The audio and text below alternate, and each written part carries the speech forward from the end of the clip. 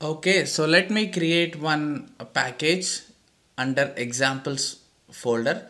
So here where you have to create your BDD scenarios as well.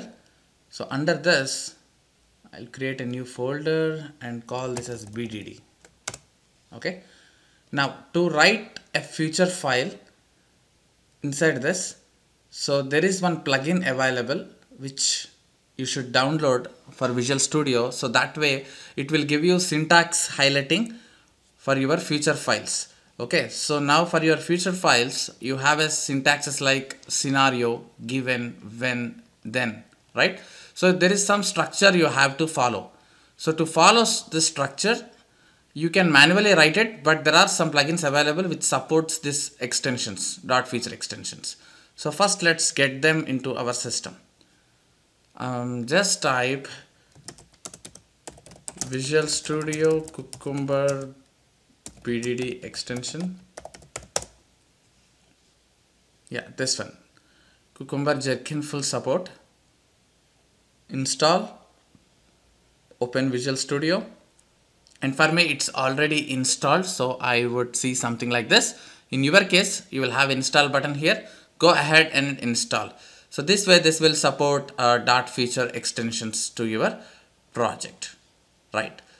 So as it is already installed for me, now I will go ahead and create a new file and I would call it as um, e-commerce dot feature.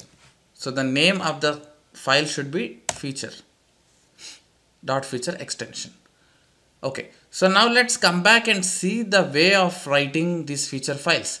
So if you go to the official Cucumber web page, we already see that earlier.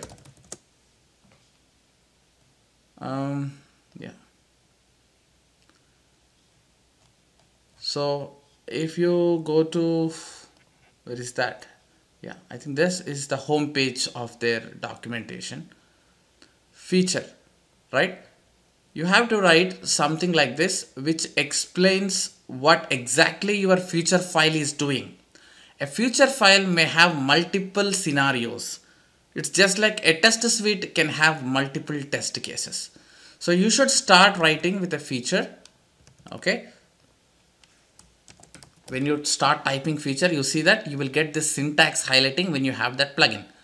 Select it and here where it is asking to write feature name so you can write a feature name as end-to-end e-commerce validation.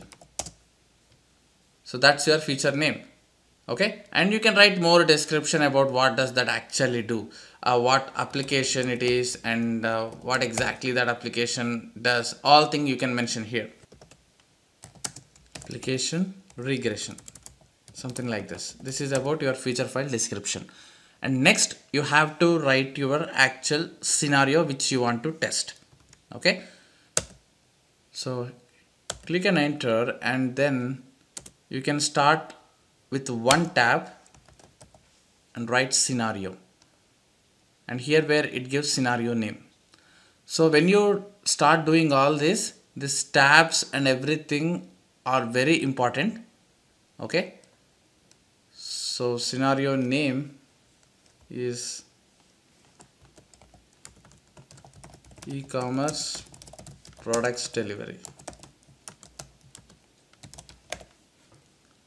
And now you can start writing your actual given when then. So these are the three syntaxes. Given.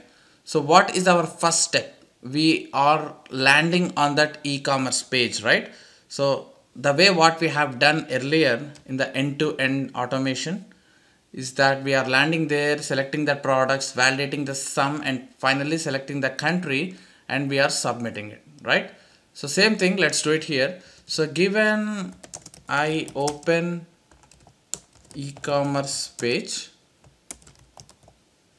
so then you should write a code to land on this uh, page with the with this URL and next when what next you are doing so you are going to shop page, adding the items into cart and checking out.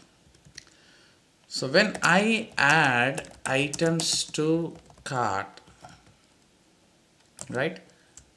And you are validating the total prices here so let's assume that this is the action you are performing and then what is the outcome expected so I would say and validate the total prices and what is your ultimate goal? Your ultimate goal is to check whether the products what you added to the cart are being checked out and successfully placed an order right? This is what you have to see.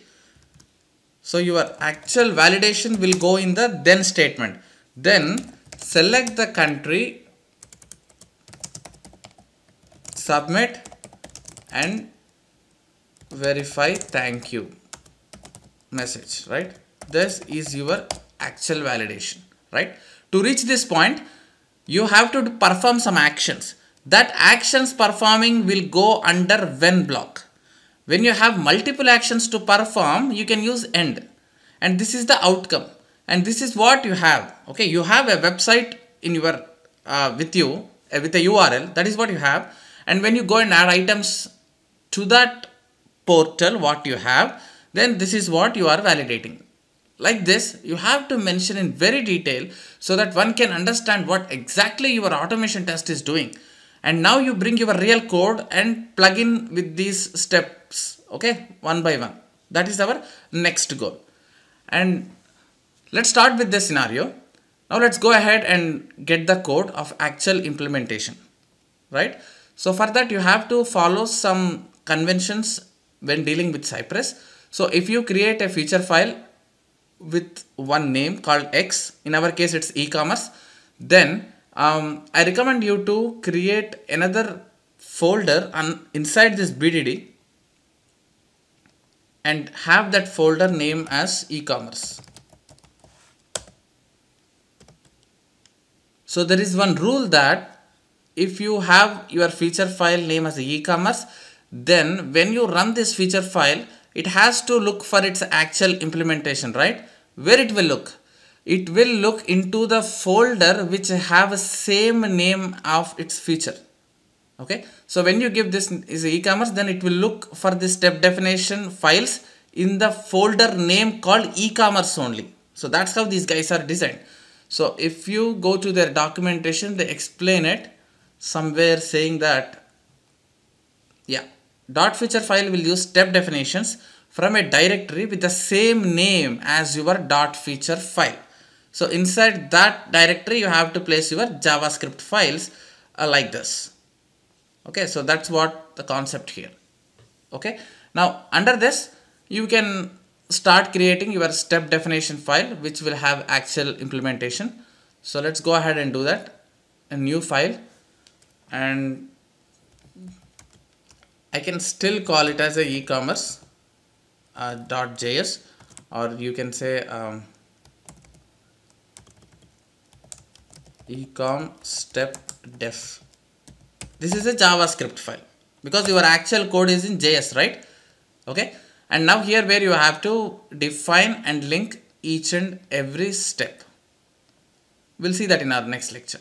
Thank you